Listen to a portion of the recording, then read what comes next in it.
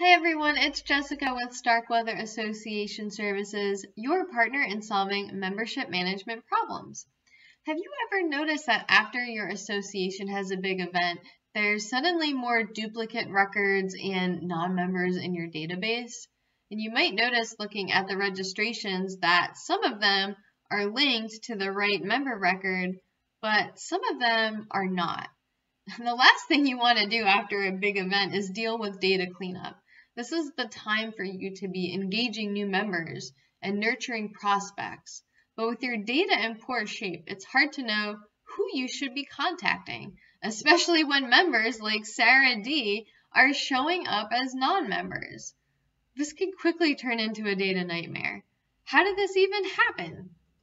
Well, if you use this event registration module in YM, as we're looking at right here, there's a setting that you want to be particularly aware of. When you're editing your event, it's under the registration tab and it's called automatically link registrants to a member non-member record. This setting will actually do two different tasks for you. It may not be 100% clear what those are, so today I'm going to go through them in detail so you can make an informed decision about whether this setting works for you or maybe it's better to not use it. The first task is exactly as the name implies, it will link a registration to a member or non-member record. So here's how it works. Let's say that a user goes online to register for your event and they are not signed in. They type in their name and email address and they submit their registration the database is going to search for a record that matches exactly with that name and email address. And if it finds an exact match, then it will link it up to the member record. And we can take a look now and see that it should be linked to this existing profile. Yes, perfect.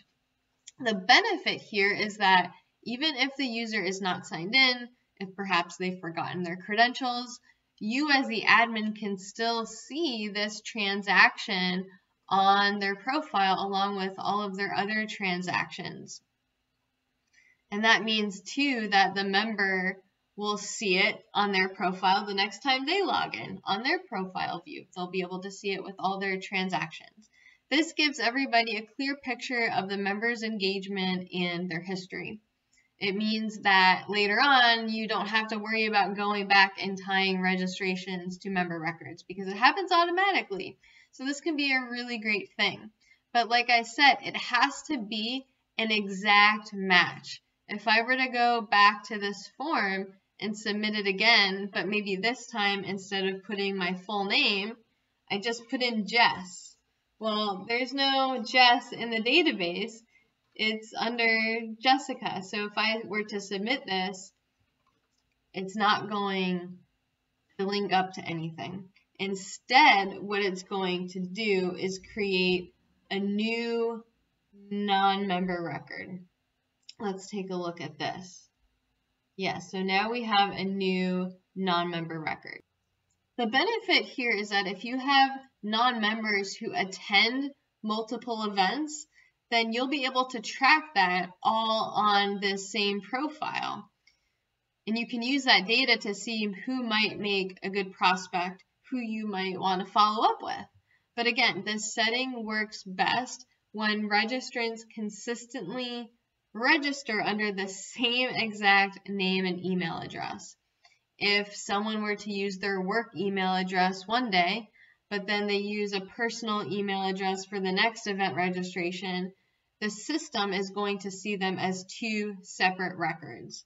Therefore, it's important to know that this setting right here could actually result in more work for your staff having to clean up duplicate records that may not have been matched up, even though they might actually be the same person.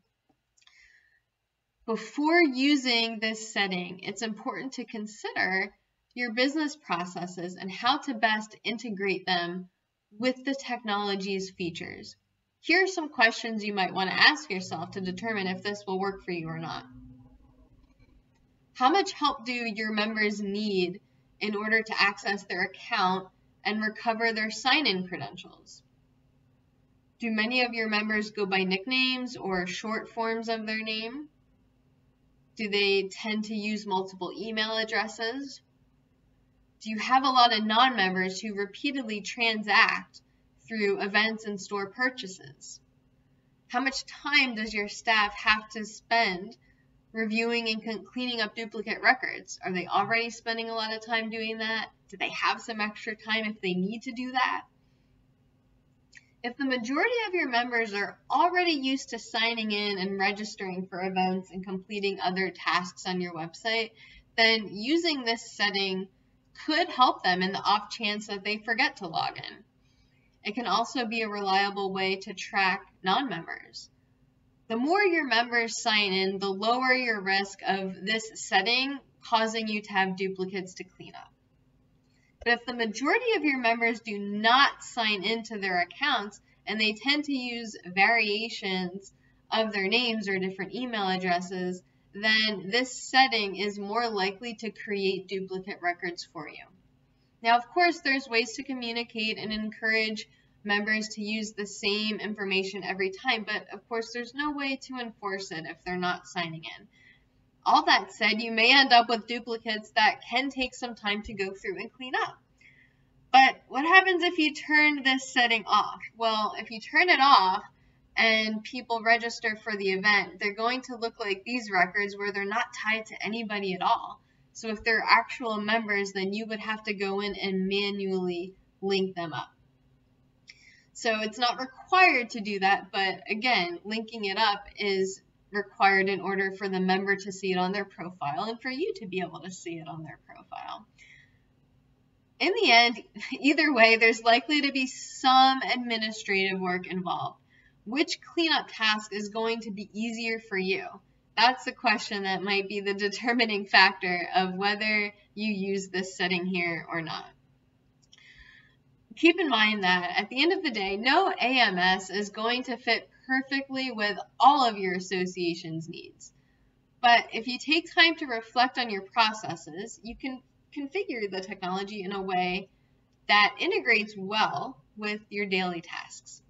Before hopping around from AMS to AMS trying to find the perfect match, how can we help you integrate the technology that you already have? Here at Starkweather, we are experts in creating event registration business model flows that work best for your association. We provide advanced support by going beyond the general response and asking in depth questions like I have today so that we can understand what matters most. Most of us here have worked on the YourMembership platform for over a decade, so our knowledge can really help you make decisions about what's going to be the best fit for you. Partnering with Starkweather allows you to work with a team that helps associations every day figure out their business needs and technology and how they fit together to maximize revenue and member experience. So if that sounds like an experience you are ready to have, come visit us online at starkweather.us and get started today. We are here to help you solve your membership management problems. Until next time, folks, have a great one and good luck with your event registrations.